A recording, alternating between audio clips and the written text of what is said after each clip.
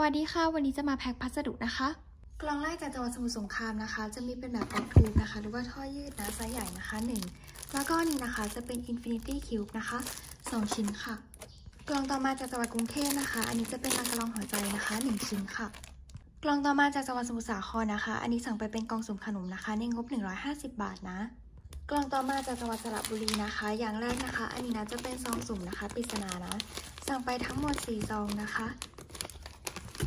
สีซองสีสีนะคะ แล้วก็อย่างต่อมาจะเป็นชีสที่จัมโบ้นะคะ จะมีเป็นปลานะคะ แล้วก็นี่จะเป็นหอยสายลุงนะคะ อย่างต่อมาจะเป็นมังคุดนะคะ แล้วก็จะมีเป็นแบบนกคูกนะคะ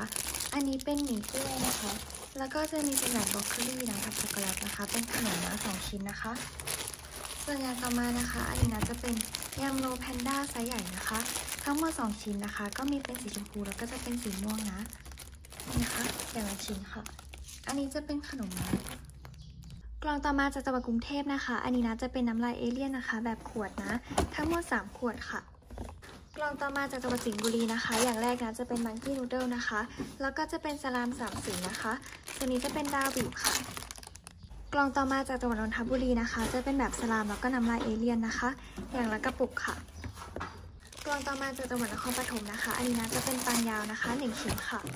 กล่องต่อมาจากจังหวัดขอนแก่นนะคะ อย่างแรกนะจะเป็นครัวซองแอนนี้แอนนะคะ แล้วก็นี้จะเป็นแบบปังยาวนะคะหนึ่งชิ้นค่ะ กล่องต่อมาจากจังหวัดชุมพรนะคะอย่างแรกนะจะเป็นสกูชี่ปังยาวนะคะหนึ่งชิ้น แล้วก็จะมีเป็นเต่าจัมโบ้นะคะหนึ่งอันนี้นะคะจะมีเป็นจัมโบ้วันนะคะ แล้วก็จะเป็นแบบพายบลูเบอรี่นะคะ อย่างต่อมานะคะจะมีเป็นคัพเค้กด้วยค่ะ